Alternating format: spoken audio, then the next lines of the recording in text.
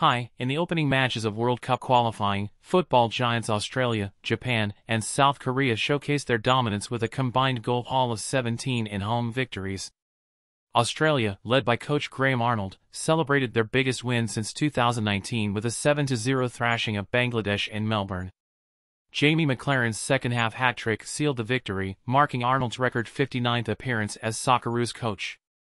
Meanwhile, Japan, missing Brighton winger Kaoru Mitoma, started their bid for an eighth consecutive World Cup appearance emphatically, defeating Myanmar 5-0. Ayase Ueda's hat-trick led the way in Osaka, with goals from Daichi Kamada and Ritsu securing early control of their qualifying group. In South Korea, Jurgen Klinsmann's team eased past Singapore 5-0, featuring a stunning goal from Tottenham's Son Heung-min. As the World Cup journey unfolds, stay tuned for more thrilling matches.